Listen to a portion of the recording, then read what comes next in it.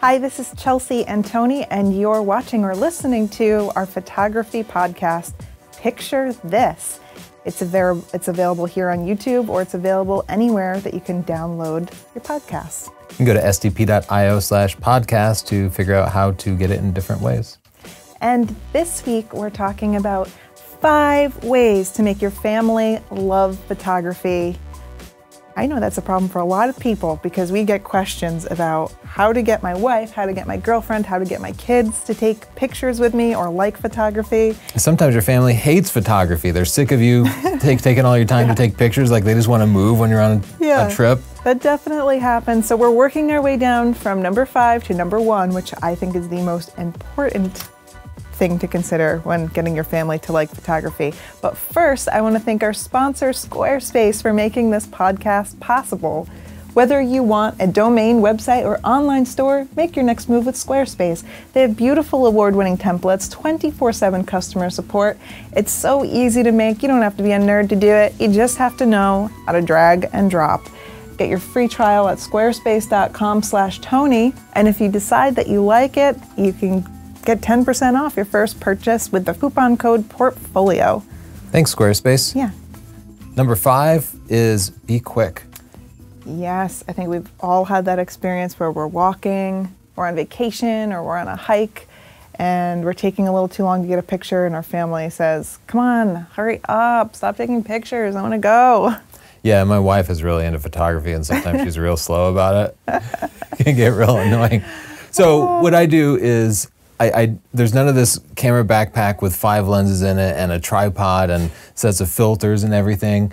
Uh, I have a camera strap with a camera attached to it, one lens, a lens hood, and that's it. No lens cap, no filters that I'm fussing with. And then I've developed a bunch of techniques that help me get the best picture I can without having to switch lenses. So, first, a super zoom lens can help a lot. I know they, they're not the sharpest or the fastest in the world, but get one of those like 18 to 105 or 24 to 300, and that means you won't have to change lenses and you'll just be moving much faster. If you don't want to have to carry a super wide angle lens around, learn to use panoramas. We cover panoramas in chapter three of Stunning Digital Photography, but that means that your 24 millimeter lens can instantly become a 16 millimeter lens or whatever you need it to be. And I promise I can take an 8 or 10 picture panorama faster than anybody could change out a lens. And then you're sitting and you're doing some work in post processing, but at least you don't have family members annoyed with you, right? Yeah, exactly true. uh, image stabilization, a must have too. Yeah. You can't be carrying around a tripod or anything like that. Oh, That's no. just taking you're, way too long. You're just going to stop start an uprising in your family if you're taking all that time. Ease into it. Tip number four of the top five ways to make your family love photography get social. So many times I see people like a certain type of photography, so maybe they're taking landscape pictures uh, and they expect their family to be patient, but um, your family wants to be in the pictures and they want to be a part of it. So when you're taking your family pictures or you're out and about with your family, get pictures of them and then share them on social media, tag them, make them feel a part of it, and then they can kind of see what you're doing and feel like, you know, it's a worthy cause. They're yeah, seeing them be used. This happens with me and Madeline all the time because I'm always taking pictures and she has zero interest in it. But the moment I put up a picture and tag her on Instagram, she's very excited about it. And over time, like her and her friends will come to me and be like, "Oh, can you take a picture of us doing this thing?" And they want to be able to share it because everybody likes looking good. And then they're involved in the process and they have a little more patience to it. Yeah. So if you're into macro or something, it can be tempting to just post bug picture, flower picture, but uh, that's going to be more difficult to convince your family to sit around and wait for when you're out and about if nothing else, you'll have something in common because yeah. if even if they're not into photography, I promise they're taking pictures and putting it on social media. But so many serious photographers that I know, their pictures never get outside of Lightroom on their computer. It's nice to hang them around the house too. Yeah. I mean, we're talking a smaller level of social, but if you have your pictures on the wall and you're all walking by them every day, it feels more communal. It already feels like they're a part of it. Yeah, it brings them back to that moment, but also lets them appreciate the photography a little bit more. Number three. Encourage and teach the art. So if you're lucky enough to get to that stage with your family where one of them wants to pick up a camera and take their own picture, don't say, no, don't do it that way. What's your f-stop? What's your ISO? What's this? Don't, ugh, chill. We know you're excited, but you don't want to scare them off. Just be encouraging. Say, oh, you got a really great picture. Point out their strong points. Point out what they did right. A lot of people get hooked on photography because they got a picture they feel like was a good picture and that encourages them to take more pictures. That's actually exactly what happened to you. Right, because I grew up in the middle of nowhere, Texas, where everything was flat and dry. And when I moved up into the Massachusetts area, I started exploring the countryside. And, and one day I took a trip out to Baxter State Park in Maine with my disposable camera, because that was the only camera I'd ever owned cheap film disposable camera. And I just happened to wake up early and went out and took a walk and stumbled across this little pond and a moose was wading out into the pond with the rising sun and the mountains behind it and I with my dumb film camera. But the picture turned out awesome and then I showed it to people and they're like oh my god that picture's fantastic. And and that just began a lifelong love of photography. Yeah. But it's not just me. I know like every photographer that I've seen go from beginner to great had that one early on picture that was probably dumb luck, but everybody praised them for it and they internalized it and they ran with it. So do give that gift to anybody you know who's taking snapshots on Instagram. Find something great and, and let them appreciate it. Yeah, let them enjoy the moment. That happened to me too. What's your story? I was 15 and I was in Bath, England, and there's this bridge that goes over the river. Uh, and it's like you can't take a bad shot of it. It's the most beautiful spot. And my aunt blew up a big print of it and gave it to me and said, You took this picture when we were there and it's so beautiful and I wanted you to have it. And I thought, Yeah, I am pretty great, aren't I? And then I took a, a photography class in high school and I learned how to roll, roll, film. And so just that little bit of encouragement got me going. I think uh, making a print for somebody, like taking their picture and making a print and giving it back to them, would be a great way to encourage somebody. Yeah, that was really nice of her. Thanks, Aunt Liz. Yeah. Let's take a moment and thank our sponsor, Squarespace. Squarespace makes websites that make your pictures look fantastic. Yeah, speaking of taking your pictures and putting them somewhere so you can see them all of the time, making your own Squarespace portfolio is a great way to go through all of those pictures you may have forgotten about, putting them in a place that's beautiful because their templates look professional and designed by you know, some top designer, mm-hmm. and then you can see what your photos look like as a collection. You can also load up the portfolio app on your phone and quickly show people your best pictures without having to dig through the 10,000 pictures that you have in your camera reel.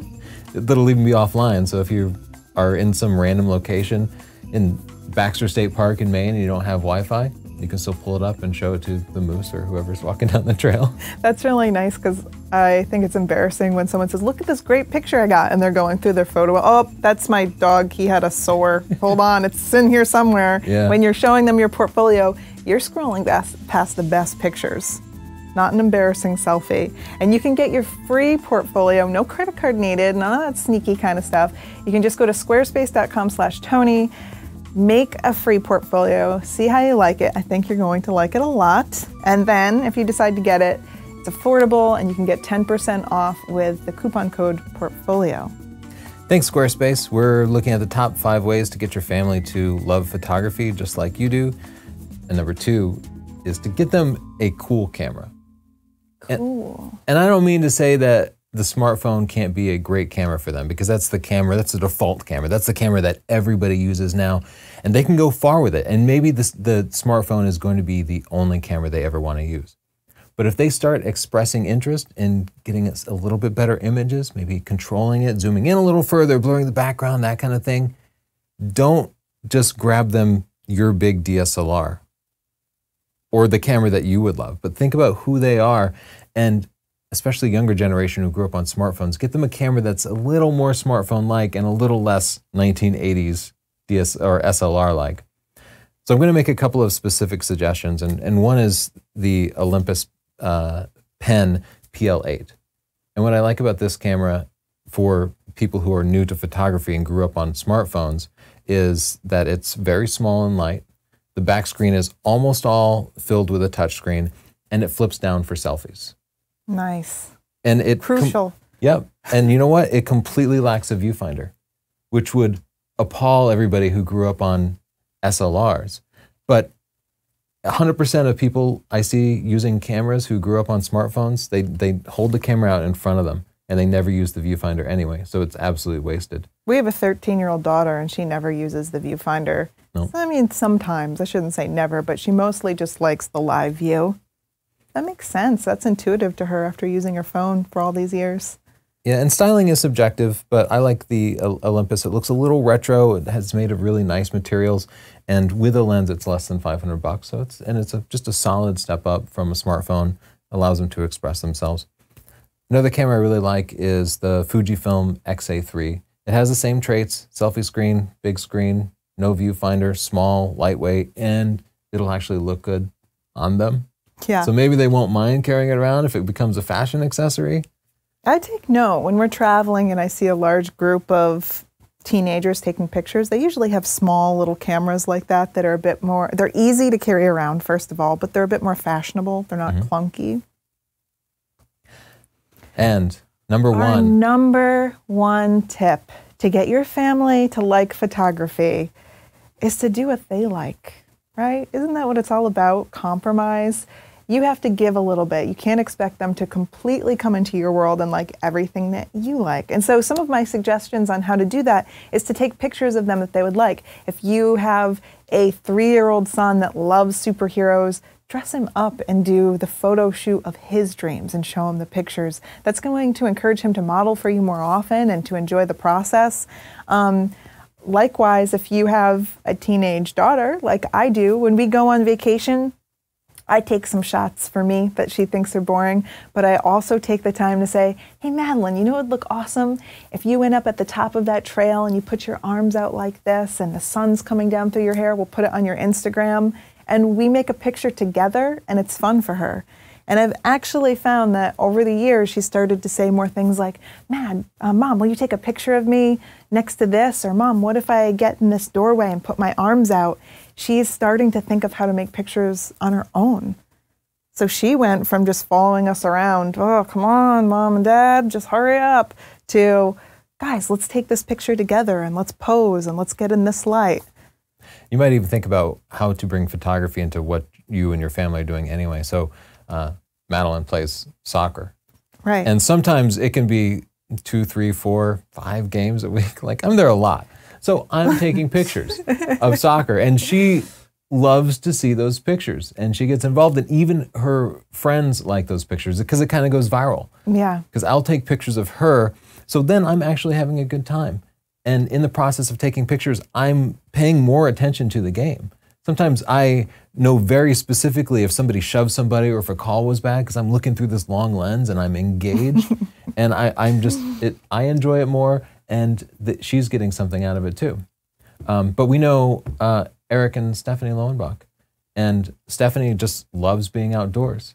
And but she's not really into photography that much. She uses her smartphone a lot. She takes great pictures, actually. Eric Lowenbach, an amazing landscape photographer who always hauls around a lot of gear. But these two ha- hobbies happen to work out perfectly. Yeah. Because Eric wants to get up early and take pictures. Stephanie wants to watch the sunrise. Yeah, she wants to explore. Yeah. So maybe your spouse likes to watch the sunrise. You could get hmm. into making time lapses. Just go out with your camera. Or maybe they're a bird watcher. Get into wildlife photography. Maybe that's not your favorite type of photography, Yeah. but it can be, and you'll be having a good time. Or maybe they like cooking. You could say, hey, will you style a shoot for me? Cook that awesome chicken pot pie that you make, and let's make it look beautiful with a sprig of rosemary and take a picture together. That's a great idea. I know. if you have more ideas on how to make your family like photography, if things have worked for you with your family, put some comments down below. Um, if you're on YouTube, that is. And yeah, I guess that's it for our ideas. We're out. Justin, we're out. Thank you to our sponsor, Squarespace. If you want to set up a website of any type, whether it's a portfolio for your business or whatever, go to squarespace.com slash Tony. Get your 14-day free free trial, no credit card required. And if you decide you like it, use a coupon code portfolio. They even have stores and stuff. I know, it's really cool. All right. Thanks, guys. Bye. Thank you.